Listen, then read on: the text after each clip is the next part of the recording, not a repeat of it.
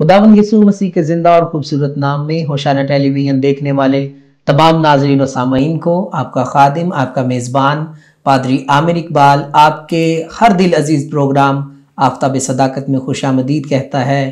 عزیز ناظرین، یہ ہمارے لیے بڑی خوشی اور استحقاق کی بات ہے کہ خداون ہر روز ہمیں اپنے کلام کو سیکھنے کے موقع فراہم کرتا ہے اور یہ ہمارے لیے نہایت ہی لطف اندوز اور عظیم بات ہے کہ ہم ہر روز اس کے مستند خادموں سے اس کے پاک کلام کو سیکھتے ہیں۔ ہم اس بات کے لیے خداوند کا شکریہ ادا کرتے ہیں۔ عزیز ناظرین، آپ جانتے ہی ہیں کہ ہم ہر روز خداوند کے ایسے مستند خادموں کو بلاتے ہیں جو پاک کلام میں منجے ہوئے ہیں اور پاک کلام کو سمجھنے کی اور سمجھانے کی خاص مہارت رکھتے ہیں۔ انہی میں سے ایک آج خدا کے خادم جو ہمارے ساتھ موجود ہیں، ان کا نام ہے پادری ذیشان مسیح۔ یہ جیل میں خداون کی خدمت سر انجام دیتے ہیں اور آئزک تھیالوجیکل کالج میں بطور معلم اپنی تدریسی خدمات سر انجام دے رہے ہیں۔ پادری صاحب ہم آپ کو پروگرام آفتاب صداقت میں خوش آمدید کہتے ہیں۔ تھینک یو سر بہت شکریہ۔ عزیز ناظرین جتنے لوگ اپنے پاس خداوند کا زندگی بخش پاک کلام رکھتے ہیں وہ میرے ساتھ دیکھیے۔ زبور کی کتاب اس کا ایک سو انیسواں باب پرانے عہد نامے میں زبور کی کتاب، اس کا ایک سو انیسواں باب اور اس کی اکہترویں آیت۔ آج ہم پاک کلام میں سے تلاوت کریں گے۔ زبور کی کتاب، اس کا ایک سو انیسواں باب اور اس کی اکہترویں آیت۔ پاک کلام میں لکھا ہے اچھا ہوا کہ میں نے مصیبت اٹھائی تاکہ تیرے آئین سیکھ لوں۔ پاک کلام کی تلاوت ہم سبوں کے لیے برکت کا باعث چہرے۔ آمین۔ مسیح میں میرے عزیز بھائیوں اور بہنوں آئیے ہم سب اپنے سروں کو جھکائیں گے اور دعا مانگیں گے اور میری درخواست ہے پاسٹر زیشان صاحب سے کہ وہ دعا میں رہنمائی کریں۔ خدا کے دوست آسمانی باپ ہم تیرا شکر کرتے ہیں اس وقت کے لیے باپ آسمانی کہ تو نے ممکن کیا کہ ہم اس جگہ پر تیرے کلام کی خدمت کو سر انجام دیں۔ میں اپنے بھائی کے لیے ان کی ساری ٹیم کے لیے اور بالخصوص ہوشرنا ٹی وی چینل کے لیے باپ تیرا شکر کرتا ہوں جو تیری بادشاہی کی حدوں کی وسعت کے لیے سرگرم عمل ہے۔ آج جب ہم تیرے کلام کی باتوں کو یہاں پر بیان کریں، ہمارے بولنے میں اور تیرے لوگوں کے سننے اور سمجھنے میں تیرا پاک رو ہماری بڑی مدد کرے۔ یہ سب کچھ مانگتے یسو مسیح کے نام سے۔ آمین۔ عزیز ناظرین، ہم ایک مرتبہ پھر پادری زیشان صاحب کو پروگرام آفتاب صداقت میں خوش آمدید کہتے ہیں اور آپ سے درخواست کرتے ہیں کہ جو خداون نے آپ کو میرے لیے اور میرے ناظرین کے لیے دیا ہے وہ ہمارے ساتھ ضرور بانٹیں شکریہ بھائی۔ عامر بھائی آپ نے بڑا خوبصورت حوالہ پڑھا زبور ایک سو انیس کی اکہتر آیت پڑھی۔ جی۔ اس آیت کو جب میں آپ پڑھ رہے تھے اور میں اس پر جب بات کرنا چاہتا ہوں تو یہاں پہ لکھا ہے اچھا ہوا کہ میں نے مصیبت اٹھائی تاکہ تیرے آئین سیکھ لوں۔ جب میں نے خدا کے کلام کا مطالعہ شروع کیا نا تو خدا کے کلام کے مطالعے کے دوران مجھے اندازہ ہوا کہ خدا جب کلام کرتا ہے تو وہ تقریباً بائیس طریقے استعمال کرتا ہے۔ بائیس طریقوں سے خدا ہمارے ساتھ جو ہے وہ ہم کلام ہوتا ہے۔ کلام ہوتا ہے اور ان بائیس طریقوں میں سے آج ایک طریقے پر ہم بات کرنے لگے ہیں۔ زبردست۔ ان بائیس طریقوں میں سے ایک طریقہ ہے جسے ہم کہتے ہیں سرکمسٹانسز یعنی جی. حالات میں سے ہو کے خدا بات کرتا ہے۔ ہاں۔ اب جب زبور نویس اس زبور کو لکھ رہا تھا نا زبور ایک سو انیس اور اس کی اکہتر آئے تو جی. یہاں پر وہ اپنے حالات کے بارے میں کہتا ہے کہ اچھا ہوا کہ میں نے مصیبت اٹھائی۔ ہمارے حالات اچھے بھی ہوتے ہیں ہمارے حالات برے بھی ہوتے ہیں۔ تو جب آپ کے حالات اچھے ہیں تو اس کا مطلب ہے کہ آپ کے حالات میں سے ہو کے خدا آپ سے بات کر رہا ہے کہ خدا آپ کی پراسپیرٹی کی طرف ہے۔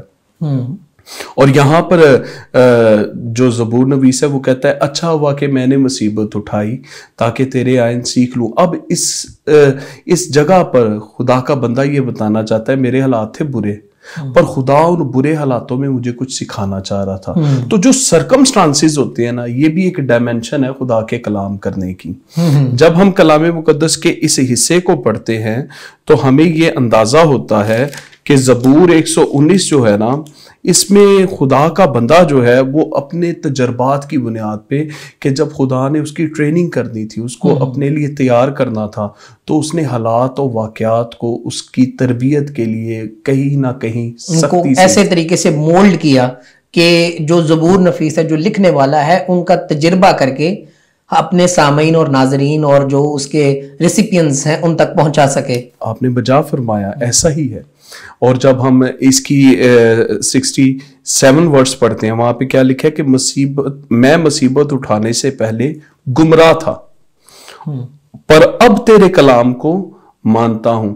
تو جب خدا سرکمسٹانسز میں کلام کرتا ہے جی۔ تو اس میں اکثر اوقات ہماری زندگی میں خدا ہمارے فوکس کو درست کرنا چاہتا ہے۔ جیسے ہمارا ایک بچہ ہے۔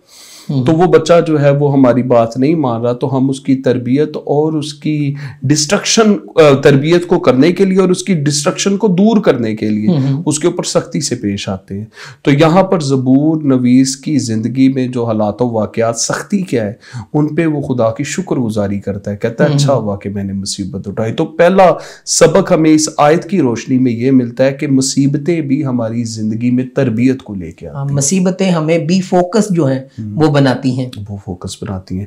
اچھا جب ہم کلام مقدس کا مطالعہ کرتے ہیں نا تو جب ہم داؤد کی زندگی کے بارے میں پڑھتے ہیں جی۔ ایک حوالہ دیکھیے گا ذرا ہم وہاں پہ جائیں گے۔ پہلی تواریخ میں جی۔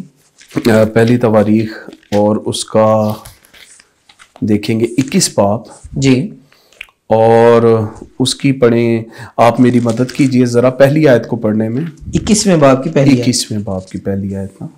لکھا ہے اور شیطان نے اسرائیل کے خلاف اٹھ کر داؤد کو ابھارا کہ اسرائیل کا شمار کرے۔ اب یہاں پر جب ہم کلام مقدس کے اس حصے کو پڑھتے ہیں تو یہاں پہ ہمیں ملتا ہے کہ شیطان نے اسرائیل کے خلاف اٹھ کر داؤد کو ابھارا کہ اسرائیل کا شمار کرے۔ جی۔ اب یہ سٹیپ جب داؤد لے رہا تھا تو اس کے لیے اس نے اپنے چیف آف آرمی سٹاف کو یواب کو کہا کہ تو شمار کر تو اس نے اس کو اصلاح دی۔ جی۔ اس نے کہا کہ یہ کام نہ کر کیونکہ خدا یہ کام نہیں چاہتا۔ پر اس نے پھر بھی یہ کام کیا تو ساتویں آیت میں لکھا ہے لیکن خدا اس بات سے ناراض ہوا۔ اس لیے اس نے اسرائیل کو مارا۔ اب حالات پہلے ٹھیک تھے۔ جی۔ پر داؤد کے اس کام کے بعد حالات کیا ہو گئے؟ بدل گئے۔ حالات جب بدلے تو چودویں آیت میں لکھا ہوا ہے سو خداوند نے اسرائیل میں وبا بھیجی۔ جی۔ اور اسرائیل میں سے ستر ہزار آدمی مر گئے۔ اب یہاں پر ہمیں یہ پتا چلتا ہے کہ جب داؤد کی زندگی ایک اچھے حالات میں تھی، اس کے لوگوں کے اچھے حالات تھے، پر جیسے ہی اس نے ایک جگہ پہ آ کے کچھ ایسا فیصلہ لے لیا جس سے خدا خوش نہیں تھا، اور اس کے پاس ایک ڈیوائن ایڈوائزر بھی موجود تھا کہ خدا کی طرف سے ایک مشیر اسے ملا جو جو اس کا قریب کا بندہ تھا۔ جی۔ جس کو یہ پتا تھا کہ خدا یہ نہیں چاہتا اس نے اس کو ایڈوائز بھی کیا اس نے کہا کہ یہ کام نہ کر دوں جی۔ پھر بھی اس نے کر لیا کیونکہ اس کے پاس اتھارٹی تھی۔ اس نے اپنی اپنے اختیار اور اپنے اچھے حالات کا غلط فائدہ اٹھایا۔ جی۔ اب جو اس نے کیا اس کی وجہ سے خدا ناراض ہوا خدا نے وبا بھیج دی۔ اور یہاں پہ لکھا ہے سو خداوند نے اسرائیل میں وبا بھیجی اور اسرائیل میں سے ستر ہزار آدمی مر گئے۔ اور خدا نے ایک فرشتہ یروشلم کو بھیجا جی۔ کہ اسے ہلاک کرے اور جب وہ ہلاک کرنے ہی کو تھا تو خداوند دیکھ کر اس بلا سے ملول ہوا اور اس ہلاک کرنے والے فرشتے سے کہا بس اب اپنا ہاتھ کھینچ اور خداوند کا فرشتہ یبوسی ارنون کے کھلیان کے پاس کھڑا تھا۔ کھڑا تھا۔ اب یہاں پر خدا نے حالات بدل دیے۔ حالات جب بدلے تو وبا آ گئی سامنے بیماری نظر آ رہی ہے۔ پیچھے ریم آف دی اسپرٹ میں ایک فرشتہ کھڑا ہے جو تلوار لے کے کھڑا ہوا ہے۔ اور یہ سارے سرکمسٹانسز جو ہیں، یہ بیڈ سرکمسٹانس یعنی برے حالات جو ہے یہ اس لیے ہو رہے ہیں کہ خدا داؤد کو بتانا چاہ رہا تھا، جو تو نے کیا وہ ٹھیک نہیں ہے۔ زبور ایک سو انیس کی اکہتر آیت میں وہ کہتا ہے اچھا ہوا کہ میں نے مصیبت اٹھائی تاکہ تیرے آئے نا سیکھ لوں۔ اس نے اپنی زندگی میں کچھ مصیبتیں اٹھائیں۔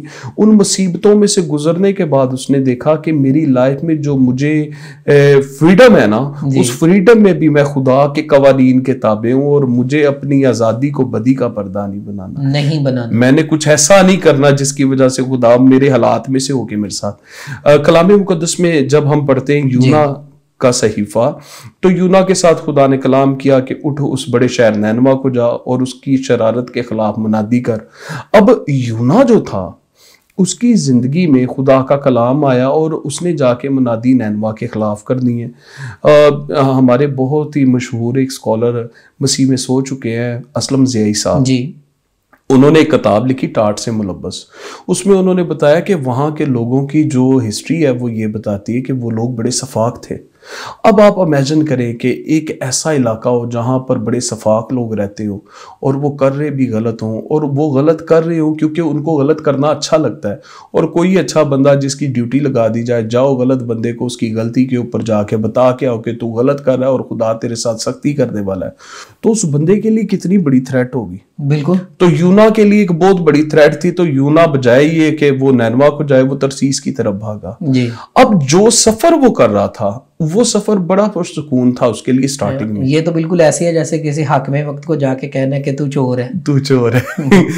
تو سر ایسا ہوا کہ جب اس نے سفر اپنا شروع کیا تو اس سفر حالات بالکل سازگار تھے۔ جی۔ پر جب خدا نے اس کو سکھانا تھا کہ میری مرضی کے بغیر تو نہیں چل سکتا تو خدا نے حالات بدل دیے۔ جی۔ اب حالات کیا بدلے؟ وہاں پر قدرتی آفت آ گئی ہے۔ یعنی طوفان آ گیا اس کی وجہ سے جو اس کا جہاز ہے، وہ اس- وہ ٹوٹنے کا اندیشہ ہے۔ کورا ڈالا ہے کورا یونا کے نام کا نکل آیا ہے۔ اب جب اس کے نام کا نکلا ہے، لوگ اس سے پوچھنا شروع ہو گئے۔ اب اس کو لوگوں کے تانوں کا، لوگوں کے سوالات کا سامنا ہے۔ پھر اس کے بعد وہ خود انہیں بتاتا ہے، مجھ سے یہ غلطی ہوئی ہے۔ لوگ کہتے ہیں، اب کیا کریں؟ وہ کہتا ہے، مجھے اٹھا کے پانی میں پھینک دو۔ وہ پانی میں گیا ہے۔ اب پانی سے وہ مچھلی کے پیٹ میں چلا گیا اور مچھلی کے پیٹ میں کوئی بیڈ تو تھا نہیں۔ تو وہ تمام تر حالات جو یکے بعد دیگرے اس کے مشکل میں جاتے رہے۔ وہ اتنی دیر تک مشکل میں رہے جب تک اس نے توبہ نہیں کی۔ اور کلام مقدس میں لکھا ہے کہ جب اس نے اقرار کر لیا کہ میں نے غلطی کی اور میں اپنی اصلاح کروں گا اور میں خدا کے حضور معافی مانگتا ہوں تو اسی مچھلی نے جس کے پیٹ میں وہ تین دن سے تھا اس نے کنارے پہ جا کے اسے اگل اگل دیا۔ تو یہاں پر یہاں پر زبور نویس جب کہتا ہے نا اچھا ہوا کہ میں نے مصیبت اٹھائی تاکہ تیرے آئین سیکھ لوں۔ تو کبھی کبھار انسان جو ہے وہ اپنے حالات کی سختی کی وجہ سے سدھار کی طرف آ جاتا ہے۔ تو اسی لیے سکسٹی سیون ورس میں وہ کہتا ہے کہتا ہے مصیبت اٹھانے سے پہلے گمراہ تھا میں۔ پر اب میں تیرے کلام کو مانتا ہوں۔ تو یہاں پر ہمیں یہ آئیڈیا ہو رہا ہے کہ جب ہماری زندگی میں خدا کبھی کبھار ہمارے فوکس کو اپنی طرف کرنا چاہتا ہے اور ہمیں سکھانا چاہتا ہے تو وہ ہمیں حالات کے تھپیڑوں میں سے گزارتا بھی ہے۔ بلا شبہ عزیز ناظرین خدا کے خادم ہمیں بہت زبردست سکھا رہے ہیں کہ کبھی کبھی جب ہم مصیبت سے دور ہوتے ہیں، ہمارے حالات جو ہیں وہ بڑے پراسپر ہوتے ہیں، تو ہم خدا کو بھول بیٹھتے ہیں۔ تو خدا ہمیں اپنے نزدیک لانے کے لیے وہ مصیبت میں سے گزارتا ہے۔ عزیز ناظرین، سیکھنے سکھانے کا یہ سلسلہ جاری رہے گا۔ یہاں پر وقت ہوا ہے، ایک چھوٹے سے بریک کا۔ اس وقت تک ہمارے ساتھ بنے رہیے اور دیکھتے رہیے ہوشانہ ٹیلی ویژن۔